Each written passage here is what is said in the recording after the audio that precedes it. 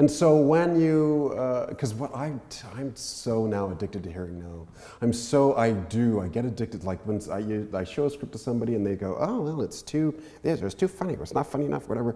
I actually, I start to feed off of that. I really do. I'm like, oh yeah, just watch me. Do you still have that? Like, just watch me. Like, oh, all the time, all yeah. the time. Yeah, and I mean, the thing, you know, it's not like, I've ever reached a point where people say carte blanche, here, do whatever you want to. I mean, I, I, you know, even after Remains, I had to struggle and I had to sell and I had to work like crazy to get anything produced again. I mean, mm-hmm. you know, I sort of accept the fact that, that most of the people in power in theaters in this country are, are very, very afraid. They're very fearful people. Mm-hmm. And that, um, you know, I upset them. I have always upset people in the theater, even, even when, you know, when the shows do well, in a way it upsets them even more because then all the stuff they said about how no one will ever accept this and no one will ever like it becomes untrue. And then that brings what they actually do into question, you know. Mm-hmm. So a lot of them just like to avoid talking about that entirely. So after, so it's a hit, people are going to see it, it's lining up, then what happens? What happens? My, um, my boyfriend at the time goes to Stratford to be in the young company that summer, and I go out to be his Stratford wife while he's doing it, and they're doing the Changeling. Uh, and I hate Stratford. it's like, where, where the, what, what, is this like a Shakespeare Disneyland or something? Mm-hmm. Not only that, but like everybody in the festival is acting like they're doing Broadway or the West End or something because they're hitting Stratford, and it's like, people, nobody knows who you are outside of this little enclave. Do you mm. not understand that? But the kind of, um, and one of our uh, old English homosexuals, of which there's been a whole string, was running Stratford at the time in the very precious kind of, uh, condescending to Canadians, I found, kind of way. The whole thing kind of creeped me out. But while I was there, I wrote The Ugly Man, which was my adaptation of The Changeling, because I thought, well, my follow up to Remains is going to, whatever I do, it's never going to please anyone. So why don't I do something really off the wall? So I did The Ugly Man, adaptation of The Changeling. Uh, really cool play, I think. We did it in Calgary, we did it in Edmonton. What was your take on it? What was your take on The Changeling? Um, well, I did kind of a camp version of it, set mm-hmm. in, a, in a kind of present day, non existent world. Mm-hmm. And it was very uh, reeked of pop culture. It referenced Star Wars and uh, Betty and Veronica comics and Superman. It was very violent and ended with the uh, stage awash in blood and money, uh, very sexual at the time. It gets done a lot at, at universities because it is an adaptation of a classic, mm-hmm. but it's a show of style. It's a show about style. There's a real style to it in the writing and has to be in the production. And especially in those days, we didn't have a lot of directors who understood something like style, mm-hmm. particularly in Toronto. They read it here in Toronto and didn't get it at all, like, did mm-hmm. not get it at all. So, what happened to it?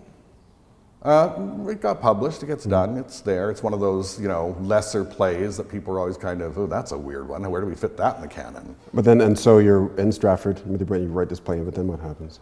Well, then Remains takes off. Then all of a sudden it's going to be on in New York, and they're going to do it in, uh, in Toronto, and I'm doing my own production in Edmonton. and for the next two or three years, I mean, that's literally my job is either opening remains or going to openings of remains or doing interviews about remains. And I'm being banned in like Virginia because they did it there and the police didn't like it. And there are mm. uh, uh, Chicago, the um, the uh, what do they call them? The, the people, the, the, cops who go, the Vice Squad. Mm-hmm. The Vice Squad is their opening night because yeah. they're sure we're going to commit some kind of crime by actually having people have sex on stage and stuff like that. So this whole kind of urban legend is growing around the show. Mm-hmm. And I've got money coming in, and people are people want to make it into a movie. You know, people are like, "How can we make this into a movie? How can we get the movie rights for this?" And I'm saying, "Well, until we open in New York, nothing's going to happen." Mm-hmm. So, you know, we, we open in Chicago. Jim opens his show here with Brent Carver and Lenore Zann and that really wonderful cast, and they run for a year and a half sort of here and there everywhere. Like everybody is going through that show, and it's just all it's at you know it's at the Poor Alex, then it's at Theatre Passe Muraille, and then it's at Factory, and it's being done in all these different spaces, mm. so they can keep it going because there's an audience for it. So literally for the next you know two or three years after it opens in Calgary, that's all I do is take care of remains. It's funny because it's hard to remember that uh, back in the what 80s and 90s there was no gay culture in pop popular culture. There was no uh, Will and Grace. There was no like. It was just. It was something that was just so brand new and fresh, and mm-hmm. you know, the, the and the sexual energy of it was just so uh, dynamic and dangerous and raw, and it was just like a lightning bolt mm-hmm. through the community. And it's, I think it's hard. Like it must have been hard. Uh, probably through the beginning of your career, just to be the first guy. It's like, you know, you, you were breaking ground. It must have been very hard. I was breaking ground, but I mean, you know, Sky had Buddies in Bad Times. It started mm-hmm. a year before I came to Toronto in 1981. So he was doing his stuff. And there was also, um, just around the same time Remains opens, um, uh, As Is which is about uh, one of the early plays about AIDS, uh, opens right. as well. The Normal Heart opens. That's right. Uh, Key Exchange. There are there is there is a, a, thing going on in the theater at that time which gave me permission of queer voices being uh, being exposed and people people hearing them. But not the way I was doing it. Like David McMillan in Unidentified Human Remains is not dying of AIDS, he's not HIV positive, and he's not struggling with coming out. Those were the three tropes that every queer piece of theater was about at that time. And so um, the fact that I wasn't writing that was both celebrated and uh, kind of denigrated at the same time. Like people, a lot of people didn't think he was a good role model. This, mm. this you know, hedonistic, selfish, narcissistic, gay character who's who's sort of running the play. They felt like he was a bad role model, and I shouldn't be writing about him. And again, that's another.